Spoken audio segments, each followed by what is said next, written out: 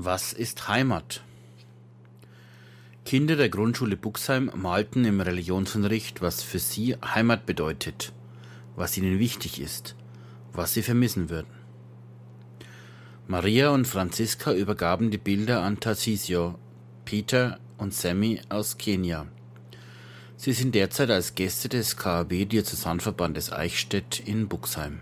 Ich habe hab mein, Haus, mein Haus gemalt, meine Familie gemalt und mein Haus gemalt. Ich habe also da meine kleine Schwester beim Fahrradfahren und da habe ich mich selber auf der Schaukel gemalt. Da ist mein kleiner Bruder im Sandkasten und da ist der Papa beim Grillen. Also, da kommt gerade aus dem Haus. Da soll es dann weitergehen zum Haus.